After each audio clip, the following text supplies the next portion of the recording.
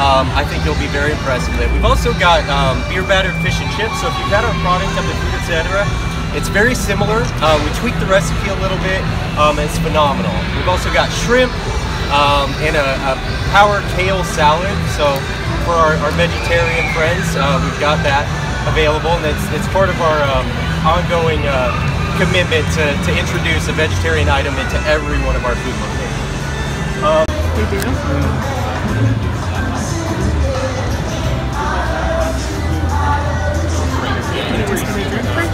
Starting in two weeks, uh, Saturdays uh, for, for a few months, we'll have live entertainment in this area, uh, which includes a band. So um, it's just it's just one more finishing detail about this area that, that really makes it incredible. That's what I got.